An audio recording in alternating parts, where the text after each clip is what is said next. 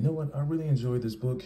Um, you know, for a first issue, it was really strong.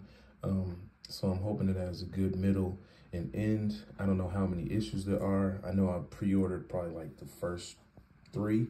So I'm anticipating a good story because it started off good. So hopefully they just carry that momentum.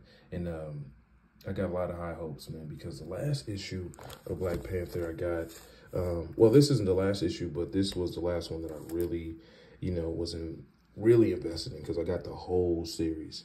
Um, there was a one, there was one that came after this by, uh, I forgot. It was like some, some writer. I think his name was Ewing, something like that. But, um, he had an interesting story at first. You know, I mean, he was showing different parts of Wakanda that we had never seen. He was expanding the country.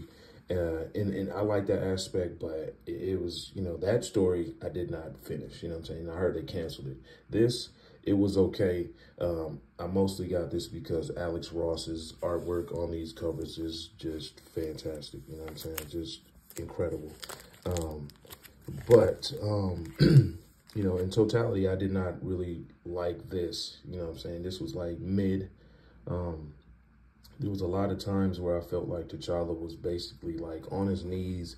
He was begging and he was getting his ass kicked everywhere. You know what I'm saying? He was no longer the king. Uh, it, it was just, it was just weird, man. And um, yeah, so like I said, I am hoping for the best with this new issue.